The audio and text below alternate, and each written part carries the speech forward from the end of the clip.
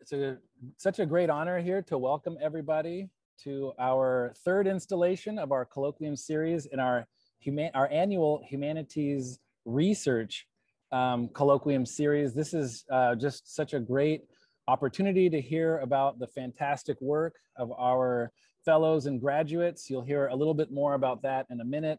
Um, I'm Professor Jesse Mills in the Ethnic Studies Department and also the outgoing chair of collaborative research in the Humanities Center. And it's been a real honor to work with the Keck program and the team, including Lindy and Atreyee. And we have also Dr. Floyd joining us today, so you'll hear more from them.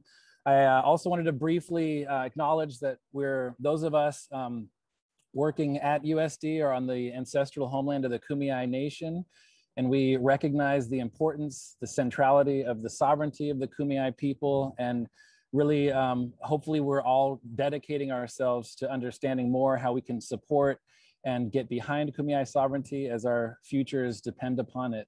Um, so with that, I'd like to again welcome everyone and our fellows uh, and, our, and graduates who we're really excited to hear from today. And I would like it to pass it on to my colleague, Dr. Atreyee Phukan. Thank you so much, Professor Mills. Um, I'm the um, um, Phukan, the director of the Interdisciplinary Humanities Program. Um, and just before I go into my um, short speech about how wonderful the research is, has been this past year and all these years, um, I hope we can just all thank Professor Mills for being the first faculty member um, to lead and um, kind of and just guide students through the, the first installment of the Keck Fellows Program, um, and also as an element chair of the Humanities Center. So thank you so much, um, Jesse. Um, so this, this um, symposium um, is usually uh, a celebration of, is always actually a celebration of student research over a whole year. Um, one of the special things about this colloquium is that it's, um, it helps to bring students together from wide variety of disciplines, um, showcasing interdisciplinary research anchored in the humanities. Um, so it's unique to um, one of the, uh, some of the student presentations that we have at USD. Um, and one of the things we, one of the reasons why we wanted to um, kind of honor it in this formal kind of presentation is also so that students can share their research with each other, um, because sometimes it happens in silos within departments. Um, so usually all the Keck fellows and all the humanities majors are at one time, but we, since we had such a huge number this year, we had to spread it out. Otherwise you would all have been sharing together. Um, Professor Mills and I also are trying a new format this year um, not only because it's on Zoom, but also because we're actually asking the students to present mostly to each other um, and then ask questions of each other from the research, um, from each other's research projects. Um, we have Dr. Floyd from English to help facilitate this discussion. So we thank you so much for, um, you know, um, honoring us with your presence and for your um, for that facilitation. Thank you so much. Thank you also to the faculty mentors who've taken their time to come um, in this last semester, last week of the semester. Um, and before I sort of hand it over to Dr. Floyd, want to also thank Lindy Villa so much, the, the who, for coordinating all the logistics, uh, for being there for whatever our needs are, and for so much of your vision for this program as well. So thank you. Um, Dr. Floyd, passing it over to you um, if you want to say anything. Otherwise, the students know exactly what they have to do. Thank you so much, uh, Dr. Phukan. I effectively just simply want to thank you for including me in this wonderful event. I'm excited to hear what students have been doing, and um, I'm looking forward to our conversations and discussions later on. So that's it for me. This is a project that's been very personal to me and personal to my life. So I've been very passionate about it and I have a lot to say. Um, but basically, hi, I'm Claire. Um, the title of my presentation is The Shadow of Shame, um, LGBT Assimilation versus Liberation in Western Culture and Media. And um, basically what I'll be focusing on in this presentation is kind of the psychology of shame and who it disproportionately affects and how that's been kind of perpetuated and can be solved by media representation. Um, so first, just a little brief overview of kind of the psychology of shame. Um, shame is actually considered one of the self-conscious emotions, which means that it develops later on in life than um, stuff like more innate things like pain, happiness, um, sadness, stuff like that. Um, it requires both an awareness of the self and of group norms um, and the capacity to kind of evaluate that you have not in some way matched up to those norms, like you don't meet the standard. Um, and it differs from guilt in that guilt is kind of the knowledge that you've done something bad um, that you can then improve your behavior upon. Whereas shame is the sense that like you are bad, there's something inherently wrong with you, which is very destabilizing, demobilizing, paralyzing, and can seriously affect kind of your quality of life. Um, and this has specifically affected, um, I mean, it affects anyone who doesn't match kind of the standard of like the prioritized straight white male able-bodied person um, but specifically i wanted to talk about how it's affected the lgbt experience um, things like isolation repression and shame are intrinsic to many members of the lgbt community um, it's affected my own life as a bisexual woman um, and this is a quote that I found from this wonderful article called The Dignity of Queer Shame that I think is really great. So I'm just going to read it. Um, when I came out to my father in the 1970s, he responded that some things are better left unsaid.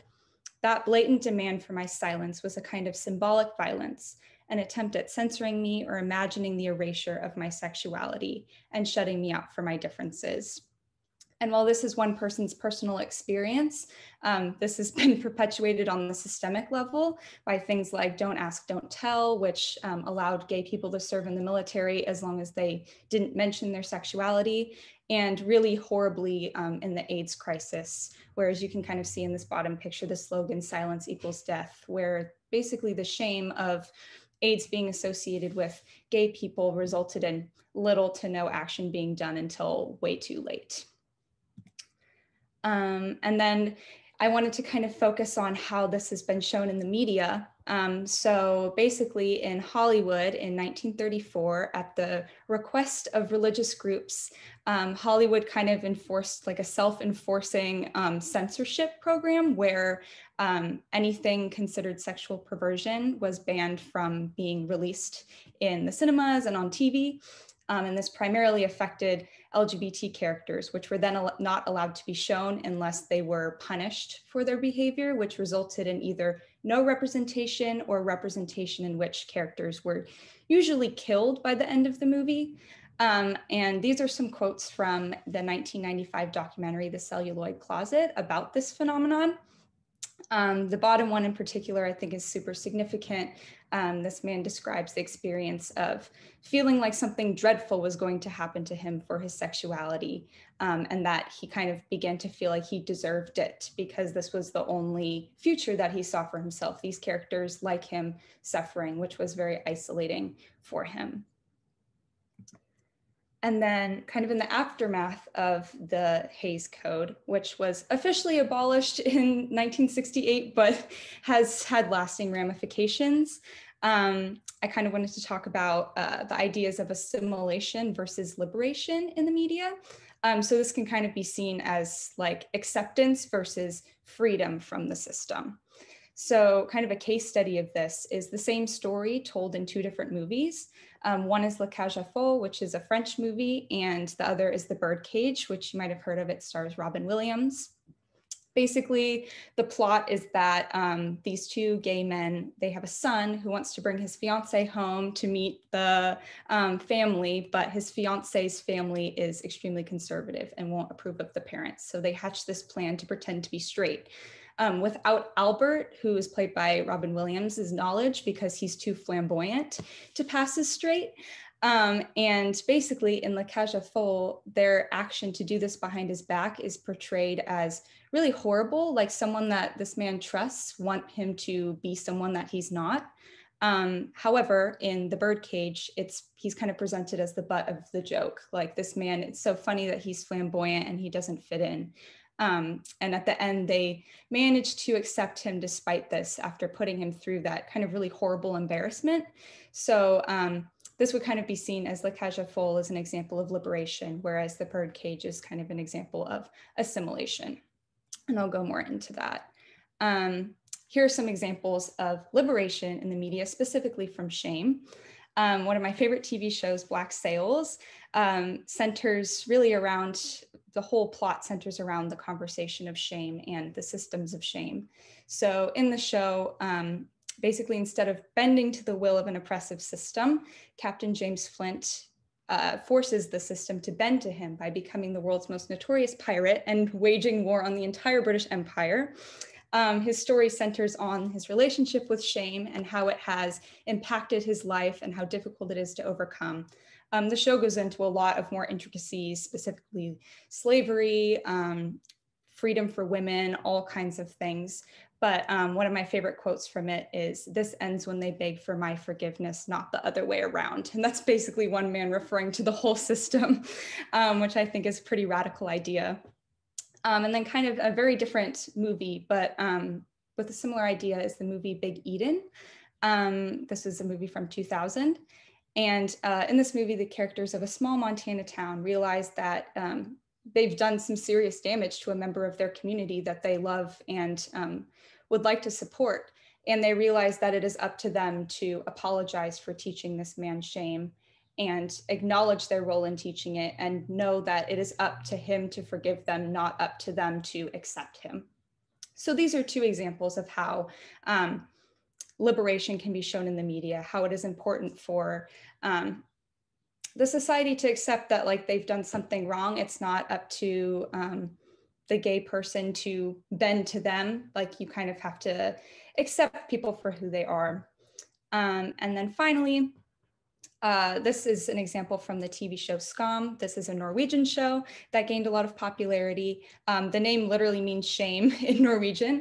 Um, and this is a great example of how um, LGBT LGBT people have internalized this shame. Um, even when you accept that you're gay, you often feel like, well, I, am not like those other flamboyant people. I don't want to be like that. Um, I want to be accepted. And um, yeah, so this show kind of tackles this. And I think the most important thing is that it discusses LGBT people as intentional, not just incidental victims of shame. This is a systemic issue. And um, the really radical idea that LGBT people, given the opportunity, would not want to be straight. Um, I mean, it'd be great to have full rights and everything, but um, it's not like uh, I think there's this mentality of, oh, I mean, those poor people, given the chance, they would want to be heterosexual, they would want to be normal, and that's just not the case. Um, and I think that LGBT people tend to internalize that idea that um, you know there's something wrong i would like to be normal um, and shows like this really provide the opportunity to um, assess that mentality and where it's coming from because often is it is coming from a place of feeling that shame. And again reiterating that idea from Black Sails that society should change for lgbt people to accept it rather than the other way around which um, i think is a very interesting idea and is kind of the basis of my research but um, that's it. Thank you. Um, Hello, everyone. My name is Kateryna. Uh, my major is interdisciplinary humanities with an emphasis in English. And uh, my minors are Chinese and international business. So the title of my project is Beyond Language Barriers, Opportunities and Challenges Presented by Multilingualism. Uh, I'm doing this project uh, because I think that language is a very powerful tool and communication dominates our daily lives, whether it be at work, at home, abroad, or in a social settings. Um, also, this research is very personal, special to me because I'm from Ukraine and I'm multilingual. I speak five languages and I always want to learn more. Uh, at first, uh, when I started doing this project uh, last semester, I was going to research the benefits and disadvantages of multilingualism. But as I started going deeper into the research, I realized that it is a very big topic. So I decided to narrow it down and I'm going to compare and contrast language situations in the United States and in Ukraine. So the first scientific studies on multilingualism date back to the early 20th century And one of the first to address this issue was the German linguist Maximilian Braun in his work Reflection on the Issue of Multilingualism. And I found this research very interesting because in it, the scientist considers multilingualism as an active, balanced, and perfect command of two or more languages. And given this definition, the scientists distinguished between natural multilingualism, it's the one you inherit from birth, and artificial multilingualism in particular acquired in the learning process. Uh, multilingualism, or at least bilingualism, is a feature of the majority of the world's population as a result of processes such as globalization, migration, and colonization. And the United States is a very diverse country but why the US education system lags behind in reflecting the value of multilingual society. If we use the number of official languages as an indicator of monolingualism or multilingualism, it is very difficult to call the United States even a monolingual state because the US doesn't have an official language at the state level. And uh, there are countries for which bilingualism is the norm for all educated citizens. And an example of this would be Ukraine. And I'm going to talk about it later in my presentation. Uh, so according to the statistics from the US Center for Applied, um, Applied Linguistics, English is not native language for every fifth US citizen. Most often, bilingualism is formed as a result of mastering the first native language and learning a second language by immersion in a foreign language environment or through learning. Um, most children in American immigrant families can be considered naturally bilingual because first and second language acquisition occurs almost simultaneously from early childhood. In the United States, English plays two roles, a first native language and a second language for ethnic minorities. Uh, the biggest obstacle to bilingualism and the spread of bilingual education programs in the United States was the English only movement. And in 1998, the state of California adopted Proposal 227, uh, and the essence of which uh, was to terminate bilingual education programs and introduce programs in English only. I found it very interesting because according to this proposal, the assimilation of American citizens was considered a more important process than multiculturalism. Uh, although in many states schooling is based on bilingualism, language education in the United States is leading to the displacement of heritage languages. Also, while doing this research, I found that a lot of American people tend to overthink the process of learning a foreign language, and they often see it uh, as something they were forced to do. So many of them struggled with it, and they developed a culture of excuses. And the reality is that Americans are no different than any other group when it comes to being able to learn a foreign language. And with the right tools and mindset, it is completely possible. And I think bilingualism in America is a very achievable dream. So in the next part of my research paper, I am analyzing multilingualism in Ukraine. And it is a very unique situation because Ukrainian multilingualism is mostly a de facto Ukrainian Russian bilingualism. And Ukrainian is the predominant language in western part of Ukraine, while Russian is predominant in much of the eastern part. Both languages are spoken widely in the capital of Ukraine and a large population of the, and a large proportion of the population speaks both fluently.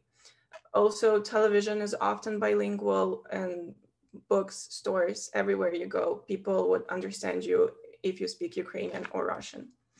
But language has become a much more sensitive issue since 2014 when a pro-Russian ex-president was toppled in a popular revolt and Russia responded by annexing the Crimea region and backing a pro-Russian separatist uprising in the eastern part of Ukraine.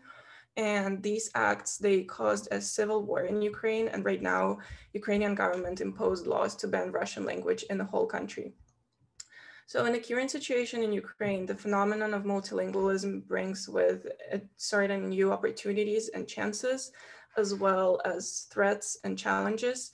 And the problem of Ukrainian Russian bilingualism in Ukraine is extremely complex and controversial. After all, the functioning of two officially established languages in one country, violating the linguistic and cultural unity of its inhabitants, it becomes a source of constant conflicts between two multilingual parts of the population, and also it becomes a destabilizing factor in public life. So I know my project is a little or disorganized right now. I'm still working on it, but to conclude my presentation, um, the reason for learning a new language are varied, but the importance of learning foreign languages is universal. It'll always benefit you in one way or another. And as a British scholar and author, Nicholas Ostler said, different languages protect and nourish the growth of different cultures, where different pathways of human knowledge can be discovered. They certainly make life richer for those who know more than one of them. And this is it, and thank you so much. All right, my name is Delaney Tax. I'm a 2020-2021 Keck Fellow, um, and my research is titled The Urban Spatial, Bodies, Knowledges, and Transcendence in the Built Environment. My exploration into the implications of the built environment derives the theory central to this work, which is colonial urban planning or spatial, temporal, and ideological instances of power enforcement that define the space and the individuals within. This investigation uses the concept of colonial urban planning to frame the various spatial, temporal, and ideological implications of white supremacy and Western domination. This work conceptualizes colonial urban planning through which, excuse me, through, through which urban theory surrounding capitalism and identity politics arises, which contributes to the methods of urban control and the structuring of power itself. In doing so, this analysis focuses specifically on the conceptions of race, gender, and queerness within the Western cis heteropatriarchy. This dictates what individuals and communities are considered normal and therefore hold power within colonization. This power manifests through ideology construction, spatial organization, and economic exploitation within the city. At the center of colonial urban planning lies a question of how normative applications of planning negotiate the presence or absence of a just city and the communities on the land. By using case studies of colonial urban form in both historical and contemporary manifestations, the thesis dissects out the ways in which bodies are purposefully raised, gendered, and queered by architectural planning itself in order to maintain or implement imperialist power structures. The colonial constructions of both dominant planning and dominant identities as good and normative leverages the power the state has over individual bodies and their access to space. Thresholds, barriers, and areas of contestation arise out of both physical contact zones and ideology made prevalent through urban symbolism. It is within these spaces of contact and access and inaccess that I investigate the intentional identity politics and subsequent ideological control that arises from planning. This study shows that the built environment is central to the construction of identities and belonging, and colonial urban planning becomes a, uh, becomes a self-regulating phenomenon along modes of restriction and access. And this is the quote that I center my definition of colonial urban planning around, so by Dr. Rupa Marya, which is quote, to be colonized means to be disconnected and disintegrated from our ancestry, from our earth, from our indigeneity, and our earth connected self. From this, the question of subjective realities formed by urban structure arises. How are urban for forms ideologically and physically constructed to frame the experience of bodies included in, separated by, or excluded from the space? How does the body experience gendering and racialization while engaging in the purposeful construction of urban forms?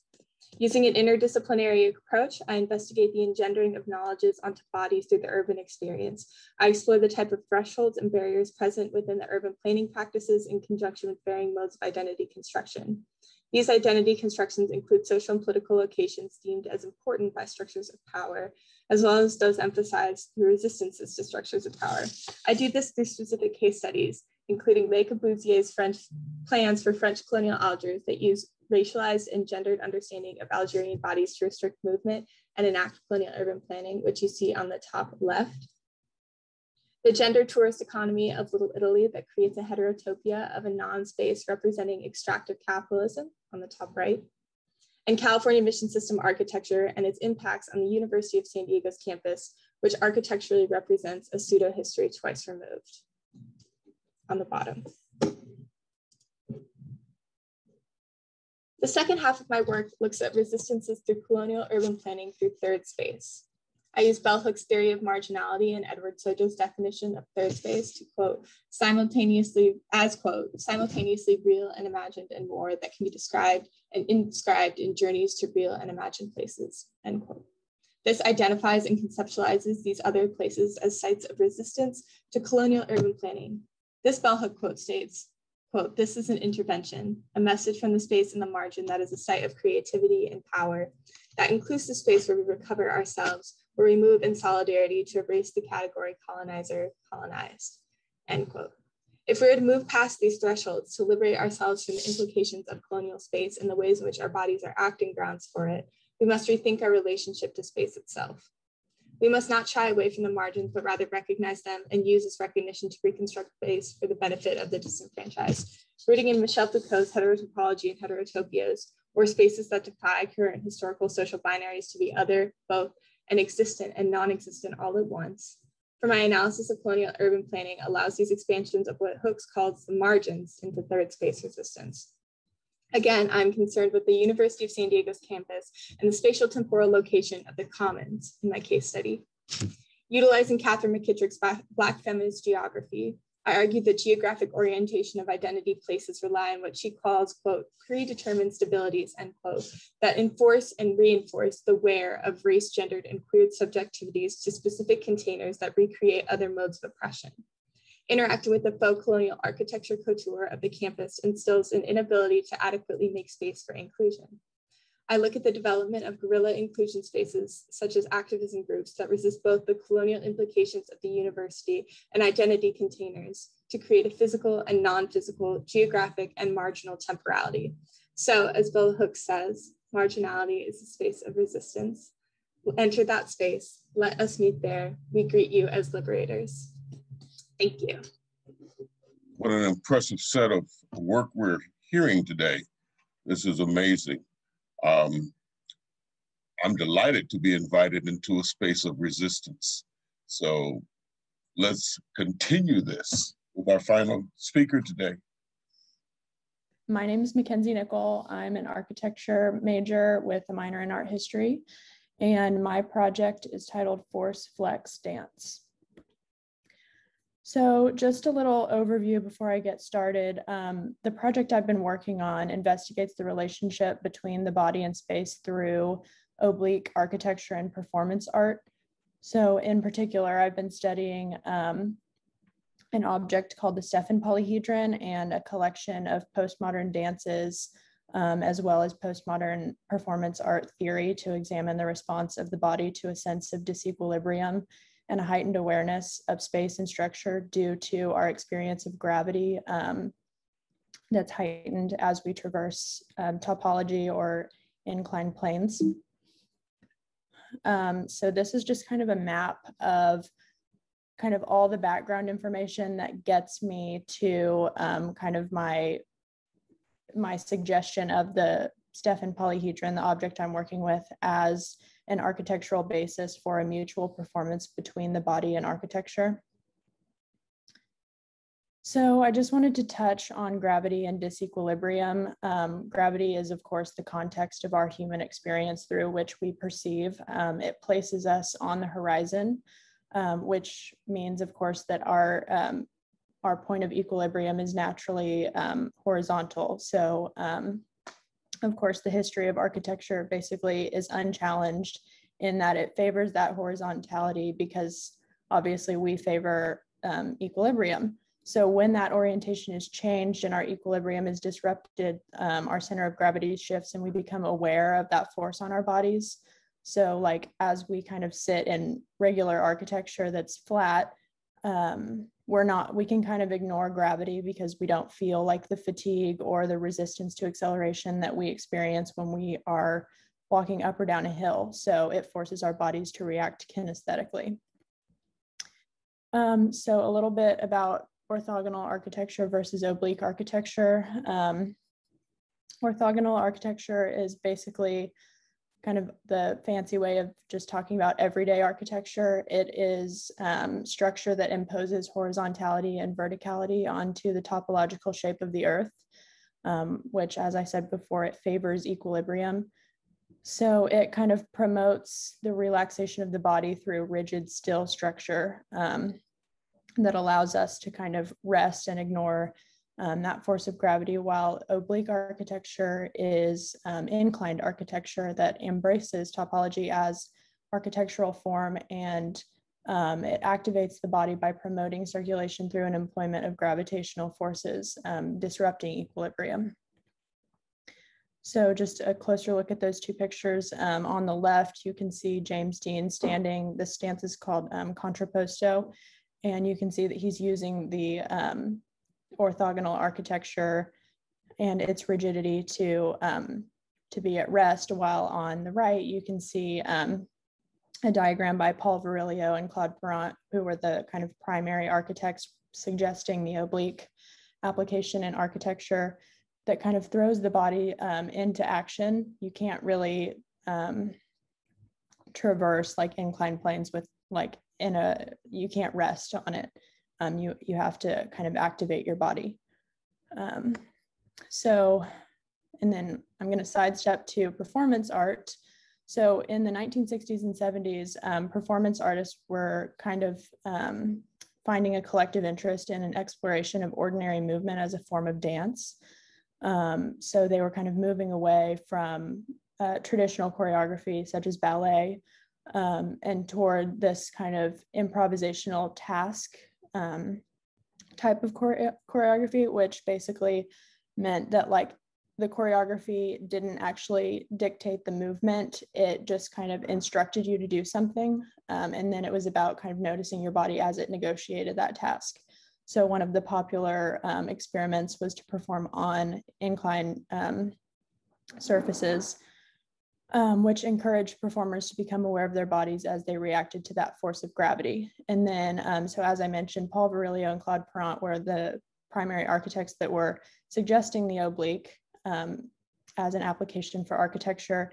And Claude's sister, Nicole, was a dancer. And so that allowed their disciplines to kind of intersect um, and she studied dance on the oblique um, in particular, and she named this style l'enclopan.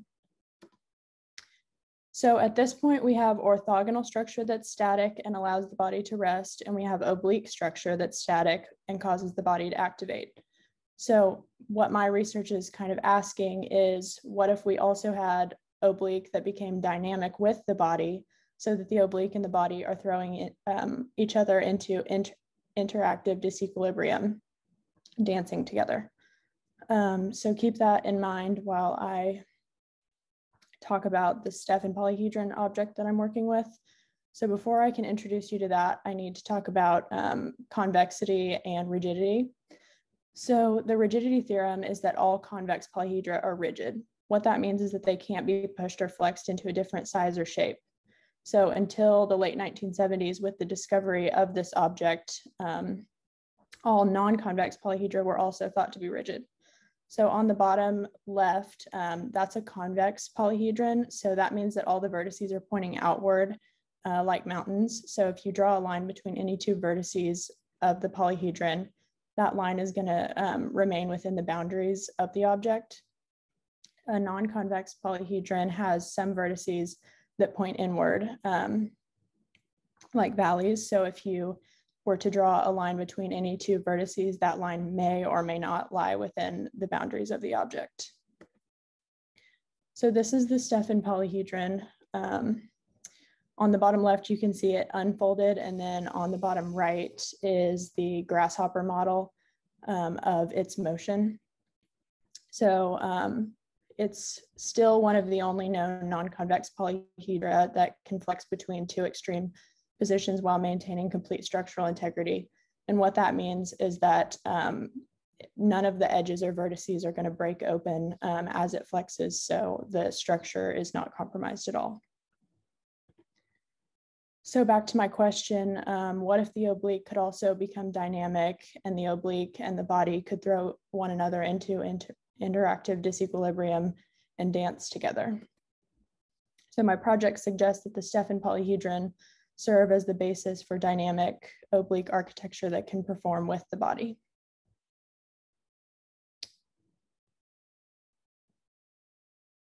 I'm just letting you guys see kind of that comparison of those two motions there. And that's it. Thank you. Let's give everyone a round of applause again. This is just fantastic work. And this is, of course, the time that I assume students get to ask each other questions and the rest of us get to listen in on what I hope is going to be an amazing set of considerations. And if you get stuck, Carlton will throw something in the table. So. Elaine, please. Yeah, I have a question for Makenzie. Um, your project is so fascinating and interesting. Um, I'm curious about what you're engaging with. Like, I know you have considered the relationship between a structure and the body.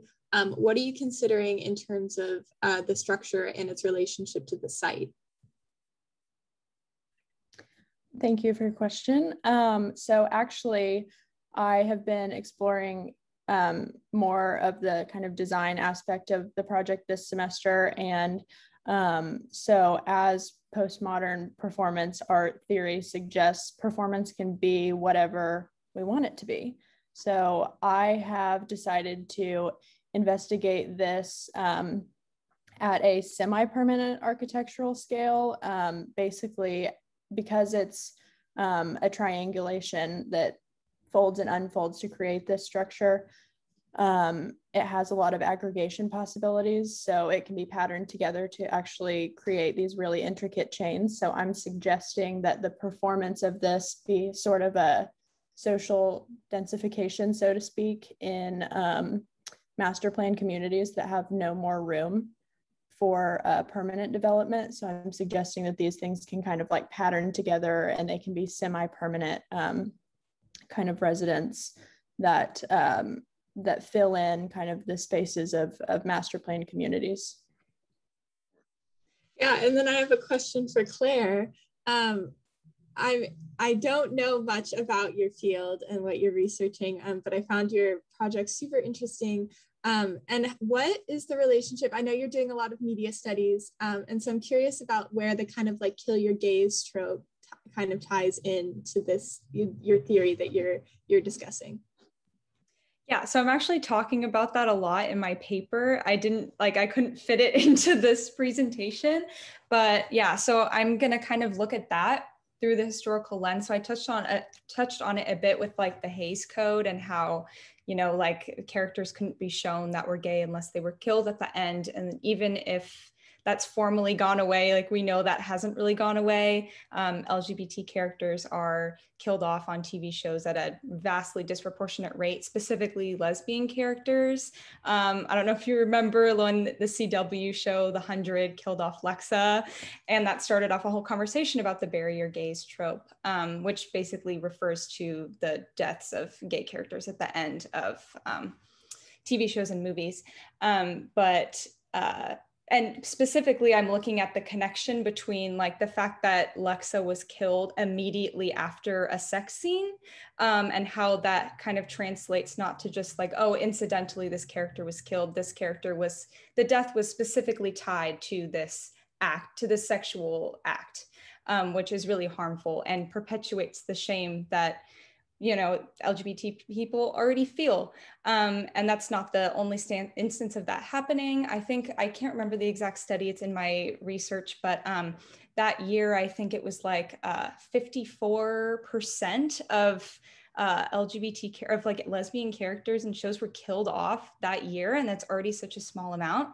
Um, i think right after that um, the character on uh, Orange is the New Black was killed off like literally a month later.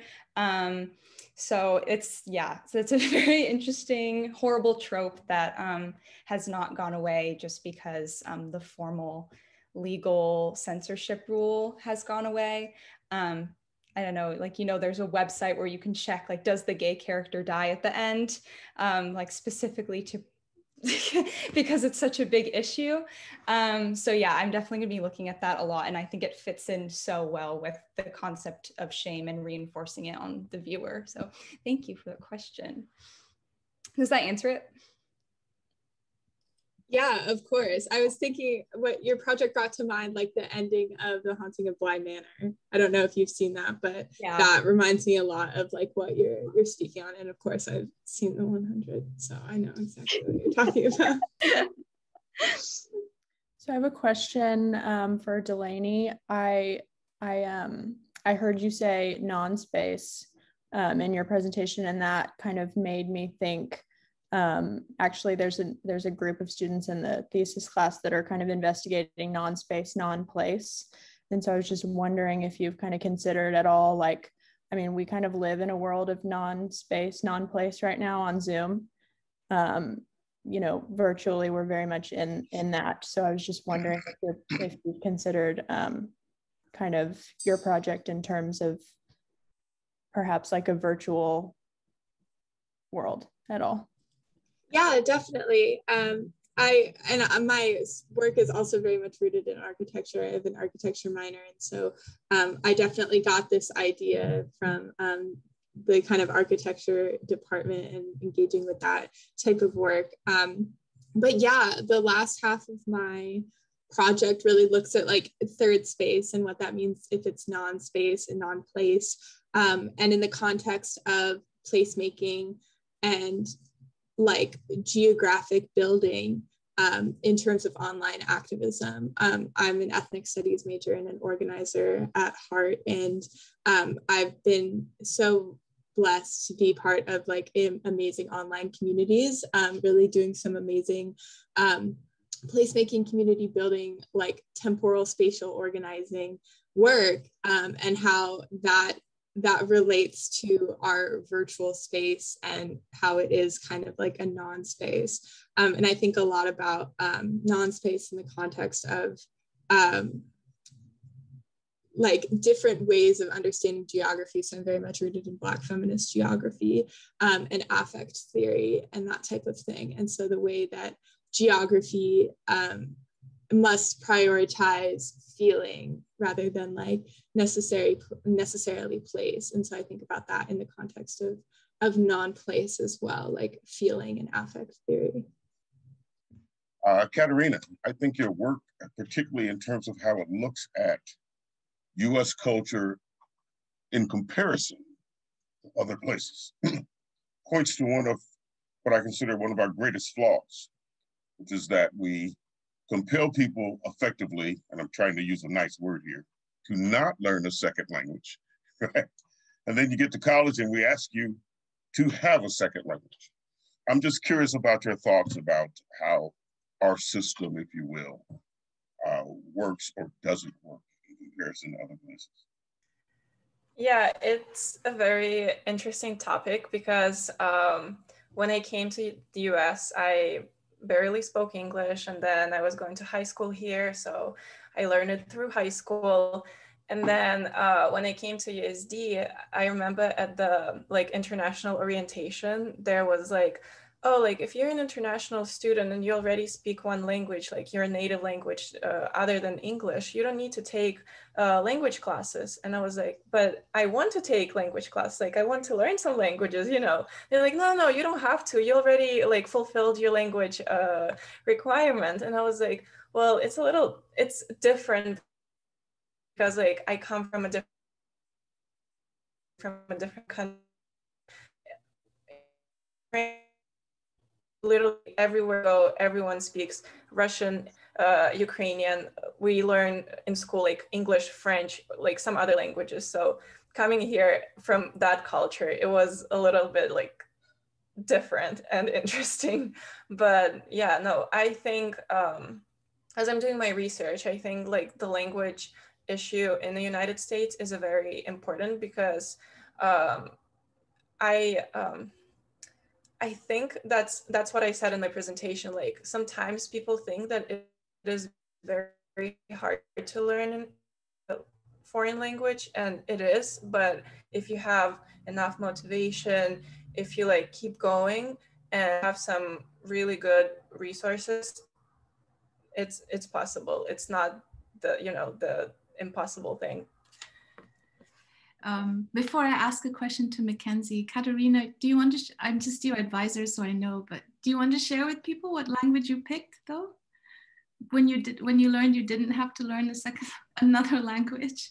Oh yeah, I uh, first I was taking Spanish classes, and then now I'm minoring in Chinese. Yeah.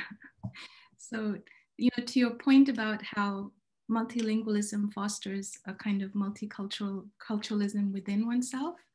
Um, it's just the journey that led you to to minor in Chinese is really fascinating. Um, so I had a um, question for Makenzie.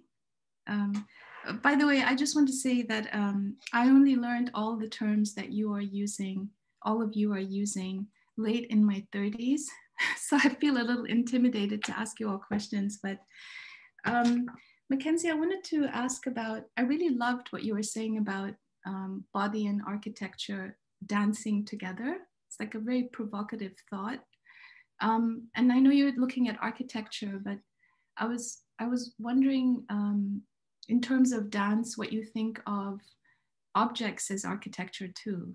Um, you, you know, so not just sort of buildings and kind of um, your picture of people using vertical planes or sorry horizontal planes or vertical planes but um, i'm actually thinking of one of my favorite dance choreographers martha martha graham who often used you know chairs as a site and as architecture to speak about the domesticity of women um, so i was just wondering what you thought about um, non non site specific types of architecture in your in your thinking about how bodies uh, relate to gravity. Um, and I love gravity because you feel it everywhere, but you can't see it, right? It's kind of like Claire's project about um, systemic um, um oppression against um, sort of um, a queer desire, right? But anyway, I was just wondering what you thought about that. So I think I think that it's very, you know, it's hard to um, separate site and choreography because um, in ways that we don't realize it, site and architecture and the built world do choreograph us. Um, for example, like museums are are very much designed to guide you without having to have like a tour guide or anything. So, and um, what actually inspired this project was um, my sophomore year, I wrote a paper about Lawrence and Anna Halprin. And Lawrence um, was a landscape architect, and his wife Anna was a dancer. Um, and they were working in the 1960s and 70s, and they um, their kind of work turned into this intersection where they allowed um, design and choreography to kind of intersect. So um, the interesting thing I think about architecture and dance is that both of them, well, neither of them are, um, I guess I should say, both of them require representation that is not the thing itself. So we don't ever experience architecture or dance as it's represented. We ne- we're never going to see architecture as a floor plan or as a section. Um, we're never going to like see dance as a diagram or a, a list of movements. Um, so I think um, that's if, really beautiful. And I also like your, now I'm thinking of dancing through the next museum I ever get to visit once COVID is over. But um, that's really a beautiful response. Thank you. You're right. It's things that uh, guide, shape our movement, but we don't necessarily see them, right? That's what you also mean by dance. Yeah. So I think, um, I think it is I'm not sure if choreography or just our daily movement can be separated from sight at all because um, if architecture is space and dance or movement is the time, then it becomes like a space time type of thing that's um, kind of evades representation, but also requires it. But I also had a question for Makenzie. I don't know if this is like too broad or like overarching, but I was curious, like, what do you think? I mean, you went into a little bit, but like, what about kind of becoming aware of your gravity is important. Like what do you think that does being in a space where you are suddenly like aware that you're being held down by gravity and kind of having to counteract that? Yeah so i think um architecture, I guess, some, one of the ways I like to describe it is that it it kind of is like a historical bookkeeper of society. Like, you know, it, we had to develop architecture very early on, and it's just been continuing to develop. But we have two orders. We have the horizontal order, and we have the uh, vertical order. So, um, you know, and that's basically unchallenged. We don't you know, it's kind of unthinkable that we would like live on a slant. Um, what the oblique does is it allows um, the entirety of surface to be circulatory and habitable. So we can actually get rid of vertical space that's not being used because gravity pre uh, prevents us from traversing a lot of a lot of architectural elements. Like we can't use the wall and the ceiling, but if it's oblique, then it can become both surface and uh, roof. So then like complete um, usability of surface is what happens there, hopefully. Thank you. That's so interesting. Thank you. If I may, I'd like to ask a question of all of you. I have a tendency to look across um, what I'm hearing and seeing, looking for perhaps commonalities. And I found, I believe, two. So please respond in any way you feel uh, proper, including saying I'm completely wrong.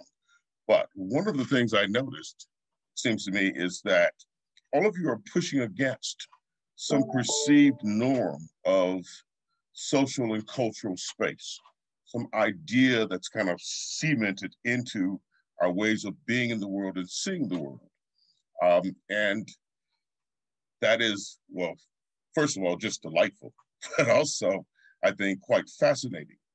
Um, so I'd really like you to speak for a minute, if you can, about how you're re-seeing the world you exist in through these uh, potentially wonderfully disruptive and uh, reforming ways. Hope that makes some sense. Yeah, I can speak a little bit to that um, first. Um, I think one of the things that I've really like yeah, my kind of like central idea to my research is that um, not, bodies don't form space, space forms bodies, um, and how identity is salient and constructed by um, the orientation through which we see the world.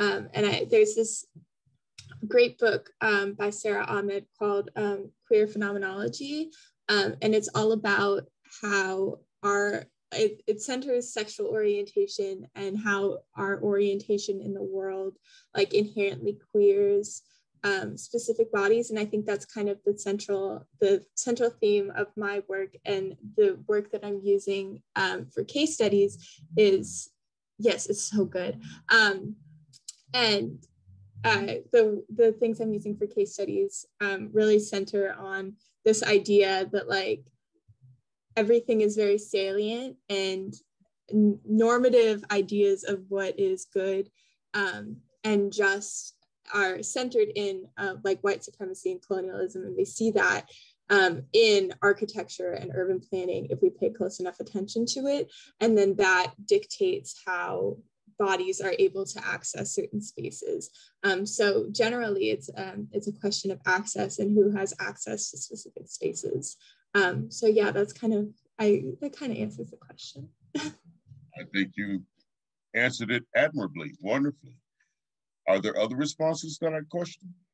Yeah, a lot of my life has been spent like wanting to appeal to this system, like recognizing that this system is oppressive, but like if I try hard enough, if I sacrifice enough of myself, I can be accepted by it. I can move up in it. And um, like then I realized like whatever you move up in the system, it's at the expense of someone else. There's always people that can't sacrifice themselves kind of like the birdcage movie like not everyone can blend in like not everyone is there's always going to be something that's rejected by the system and i think in my research what i've like come to realize is that um, it's not like it's not really about um, I don't know, being accepted by this system and getting like a seat at the table or breaking through some glass ceiling. Like we need to get rid of the table totally like there's always going to be someone that doesn't have a seat um, and i think i mean that's obviously an idea that is not original or anything but and it's very hard to implement but i think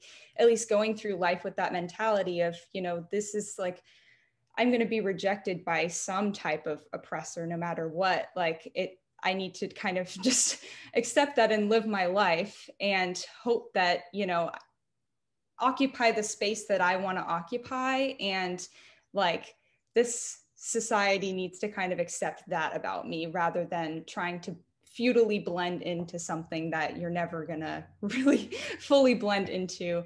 Um, and so I think kind of yeah this it's like it's been about not just like um, trying to move up in the system but kind of trying to in any way possible. Just through like my own actions try to um, emphasize that the system's not okay and wanting to not wanting to blend into it not wanting to be accepted by it wanting to be free of that system. So yeah that was a really great question. I think totally applies to everything that everyone just said. Um, but yeah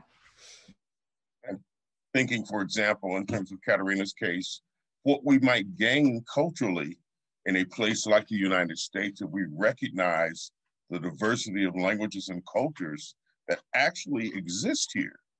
Um, I remember years ago learning that I think in Linda Vista alone, something like 90 different languages are spoken. Um, I certainly don't want to learn 90 languages, but it might be nice if people knew three. You know, uh, what would that do to change this culture and our sense of inclusivity? And uh, for Makenzie, the, the arrangement of social space, in fact, if we go back to things that others have said, Delaney and Claire in particular, says something about what you can do in that space, right? So for me, that idea of kind of reconceptualizing social space and what we can do within a gravitational field I think is absolutely important in terms of shaping everything we're doing here. Just, this was just such an amazing panel. And similarly to, to Dr. Floyd, just have lots of thoughts going through my mind. Um, but maybe just asking uh, one of the questions in particular, I actually feel like it's maybe another version of the, the prompt that you were just offering, Carlton. But I did want to specifically ask um, Kateryna in particular um, to just more of your thoughts about kind of the like an English only type history or thinking about the the monolingual sort of nature of the U.S. in terms of its cultural, um, like historical significance. Um, is that something that you looked at? I'm thinking in particular like the um, you know the outlying of indigenous languages, the kind of like forced assimilation, almost like perceiving that anything that is not English is somehow a direct threat to like power and rulership in the settler state.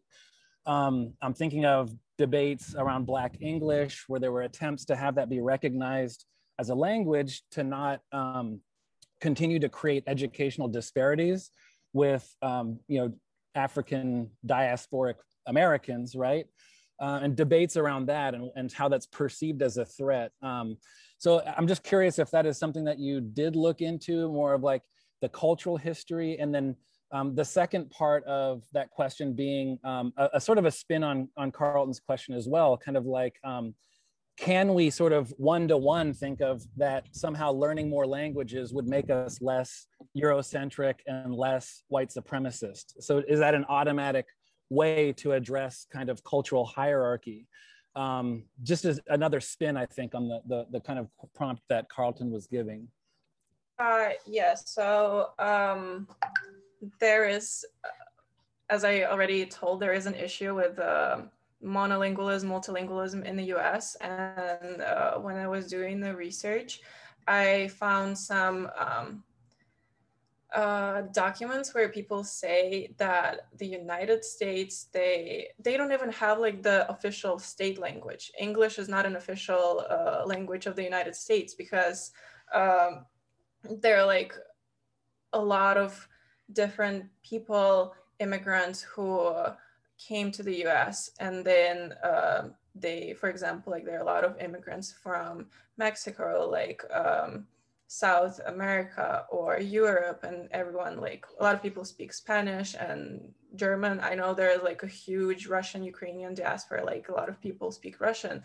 But also, another problem uh, why um, United States more like a lingual state because um, uh, some researchers, I don't remember his name, but he said that uh, bilingualism uh, can um, affect, uh, I don't remember how I would say it, but um, bilingualism will impact uh, the learning of the second language on the speaking the first language fluently. I don't know if that makes sense. So like, like when you learn the second language, it will impact in a bad way your the knowledge of your first language.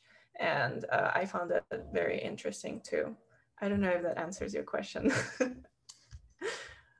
yeah, thank you very much, Kat. Here, I mean, I've got lots of questions, but I guess the one question I have maybe for um, Delaney is where does the question of property enter into this research? Because I think oftentimes, at least from what I gather from your from your presentation, is that planning is really code or being conflated with the concept of property. Um, so if we take that, um, if we assume accurately that uh, planning itself uh, is part of the colonial project, right? Emerging in the kind of end of the 18th century, early 19th century. Um, I guess the, the kind of short, quick question is before planning comes property, right? Um, so I'm wondering like where property fits into the colonial project, right? Because I think um, at least what we see in the US um, is that the introduction of private property as inherently Western uh, kind of construct um, is overlaid and then becomes justification for everything else? Yes, that's that's a big question. So I'll do my best to to answer that. But I think um, I think that ties into this kind of like triad that we have is like planning, like the colonial project and then capitalism and they're all interacting um, together uh, i use like david harvey's uh, work a lot and he he speaks a lot to like the issue of uh, private property in the state um, as well and i think um, i think the the conflation of ownership and western civilization is like has is rooted in colonialism um, and white supremacy. Um, so I think that's a huge part of uh, the work that I do. And I think, oh my gosh, there's just so much to be said about that. Um, I try to take like um, a specifically like kind of Marxist look on that type of thing, especially in my work with um, third space and non-space um, in the context of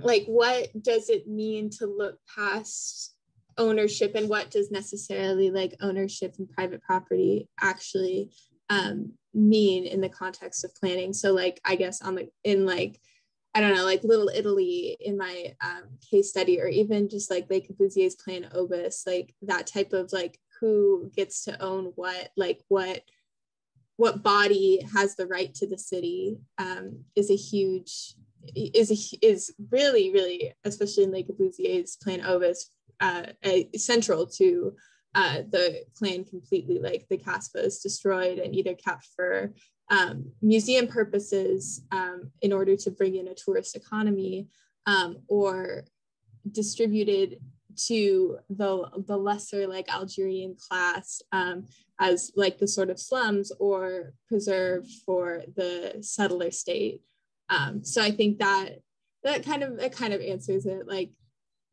I think there's the the call of my work is to move past ownership because it's part of this triad of uh, planning, like colonial urban planning, the white white supremacy, like the settler state, and capitalism. I, I think well, wonderful presentations, firstly. Um, and secondly, I'm really thinking through, and you all have already talked about this, but the really deep connections between Makenzie and Delaney's work.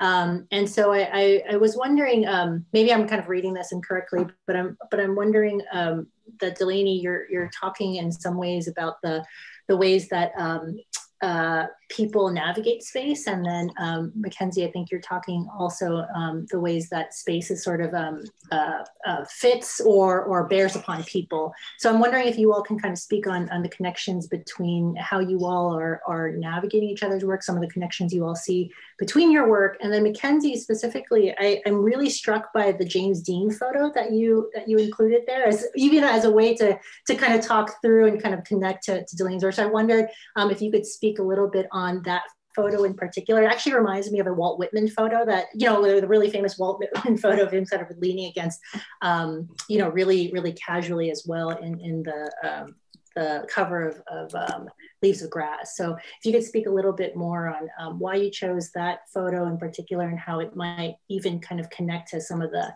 um, some of the things that Lainey's talking about around the kind of normative bodies and the way that space produces difference and, and normativity etc.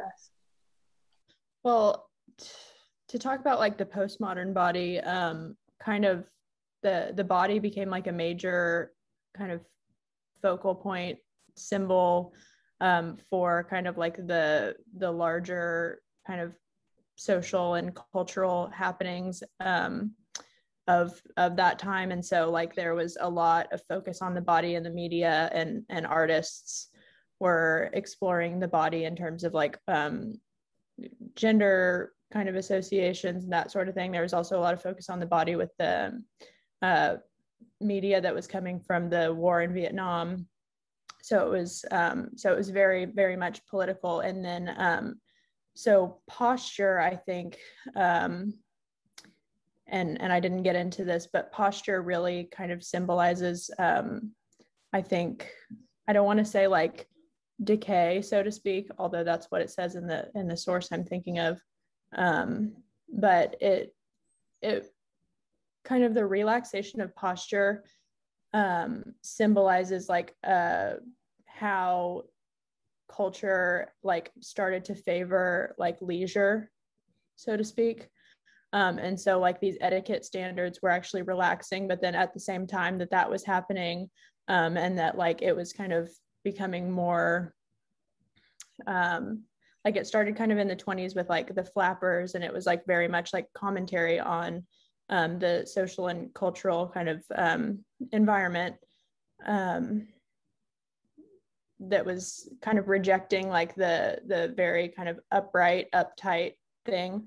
So then uh, in the 1960s and 70s we kind of see like characters you know um, or famous people like really embracing this um, James Dean, Clint Eastwood, and then that uh, kind of contrapposto stance that I mentioned um, and that that picture shows uh, kind of symbolized like a rejection of like authority or like kind of a power structure kind of thing where it was like relaxing actually became like a way to kind of like show dominance so to speak um, instead of like being upright. So but at the same time that posture was kind of like that society was allowing it to re- relax there were still like there becomes like this kind of like pseudo medical stuff happening where doctors are saying like no posture is like a, a, that's like related to all of your health. So it was like there's there's kind of this fight happening between like the kind of social and cultural aspect of posture versus like the kind of medical or like status symbol that that in a very like upright posture was yeah, that's a crazy kind of map of explanation, but yeah. Perhaps one final question available to us in chat from Pfizer. I hope I pronounced that correctly. And the question is for Claire. Claire, do you think literature approaches LGBTQI characters in the same way that Western media does? In other words, is there a shift between kind of the literature we read and the films we watch? In terms of representation? Yeah, um, it's actually like there's a super interesting relationship between the two. Obviously, the motion picture production code related directly to like Hollywood and to film and TV, um, and that influenced literature for sure, but um, didn't directly like stop things from getting published. Um, you can, I mean, from far back, you can see how the publishing uh, industry like affected the way that things were published. If you think of like Little Women, um, they wouldn't allow Little Women to be published unless Jo was married at the end, especially because she was kind of queer coded and seen as potentially not a straight character. And so like uh, Louisa May Alcott had to marry Jo off in order to get that book published. Um, the first example of a like actual lesbian story where the characters didn't die at the end is actually Carol, um, which was originally that was the movie with Cate Blanchett, um, but it was originally a book called The Price of Salt, and it was released in the 50s. So while the um, Hays Code was going on and censoring things in Hollywood, so that was pretty remarkable to have that be released. Um, but then also there were books that were affected by it, like E.M. Forster's Maurice um, that was not able to be published until after E.M. Forster died in 1971. Um, and so it did affect and didn't affect in the same way as the film industry was affected, um, which is really interesting. But um, in the same way, I'm looking at um, kind of a lot of books as well, where the topic of shame is tackled. One of my favorite books is called Aristotle and Dante Discover the Secrets of the Universe. I don't know if anyone's heard of it, but um, specifically talks about shame and how this character was so like affected by the shame of his society that he didn't even realize he was gay until like literally the last like chapter of the book um, like it was so buried deep within him. So that's also it's similar to kind of the shows that I was talking about where shame is tackled, where that's like specifically an issue that's brought up. Um, and then what did Lindy say? Yeah, so um, yes, there I have noticed a difference between US and foreign media. For example, like I talked about the birdcage, the French film um, is very more uh, the attitude of liberation. And when it was brought over to, I mean, that's still Western world, but um, when it was brought over to America, the it was it was changed. And I think that um, a lot of LGBT people find a lot of um, representation in the media by watching foreign films. I've watched like probably an inordinate amount of foreign films and foreign TV shows just to get representation. Um, and a lot of the media that I've looked at, like Skam, the Norwegian show, um, uh, that specifically emphasizes liberation over this assimilation mindset has been from countries outside of the US. So, yeah, that's a great question. Excellent, and thank you for a great answer.